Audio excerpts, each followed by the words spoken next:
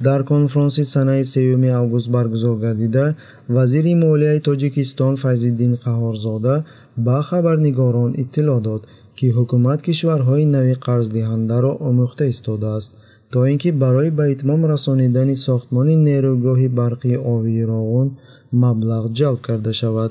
Зиёда аз чор миллиард доллари амрикоӣ барои ба гуфтаи номбурда айни замон аз 500 миллион доллар маблағи пештар ҷамъ шуда. Аз ҳисоби фурӯши евробондҳо пай дар пай барои амалигардонии нақша истифода бурда мешавад. Мо имрӯз бо дигар созмонҳои ҷаҳониам барои ҷалби маблағҳои имтиёзнок. Қисми дигари маблағ то охири соли ҷорӣ гузаронидан дар назар дошта шудааст. Барои амалигардонии нақшаи мазкур зиёда аз 4 миллиард доллар лозим мебошад евробондҳо бошад ба маблағи 500 миллион доллар фурӯхта шудааст. Вале хизматрасониҳои коғазҳои қиматбаҳо хароҷотҳои муайянеро талаб менамояд.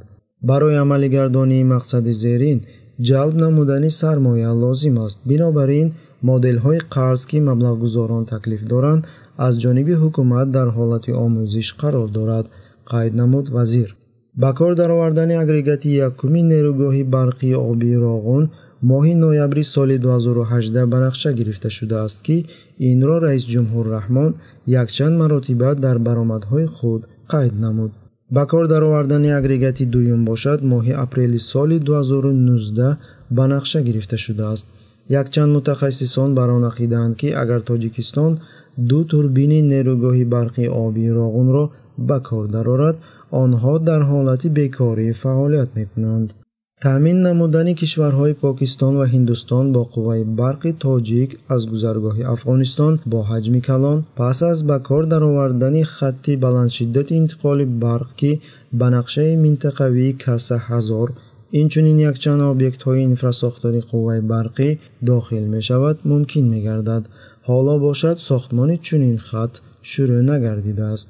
Супоридашавии хатти интиқоли қувваи барқ дар соли 2022 ба нақша гирифта шудааст. Мутахассис оид ба кишварҳои осиёи марказӣ ва шарқи миёна александр князев дар муҳосиба бо вестник кавказа изҳор намуд ки ба нақшаи каса ҳазор суолҳои бисёр мавҷуд аст ки бо тезӣ ҳал намегардад. Каса ҳазор лоиҳаест ки аз гузаронидани хатти қувваи барқ аз кишварҳои қирғизистон ва тоҷикистон ба кишварҳои афғонистон покистон ва ҳиндустон ташкил шуда пешниҳодкунанда ва пешбарандаи он иёлоти муттаҳидаи амрико мебошад. Барои эълони лоиҳаи мазкур амрикоиҳо якчанд миллион доллар сарф намуданд. Дар асл барои лоиҳаи мазкур ин маблағ нокифоягӣ мекунад зеро худи лоиҳа бениҳоят гаронбаҳо мебошад. Барои сохтмони якчанд хатти интиқоли қувваи барқ инфрасохтори фосилавӣ барои кашонидани қувваи барқи зиёдатӣ ба афғонистон покистон ва ҳиндустон маблағи зиёдеро талаб менамояд. Ҳамаи давлатҳои зикршуда дар лоиҳаи мазкур иштирок намеварзанд танҳо дар тоҷикистон ва қирғизистон якчанд объектҳо аз ҳисоби маблағҳои грантии ташкилотҳои гуногун сохта шудааст. Сухан дар бораи стансияҳои хурди участкаҳои хатти интиқоли қувваи барқ рафта истодааст вале дар қирғизистон ва тоҷикистон хатари ҷиддии норасии қувваи барқ дар мавсими зимистона вуҷуд дорад.